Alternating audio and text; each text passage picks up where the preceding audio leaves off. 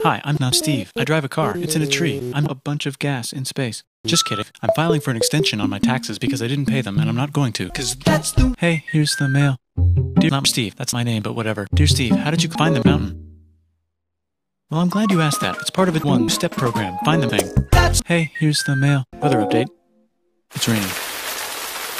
Severe flooding alert. The entire world is now a woman. And she said,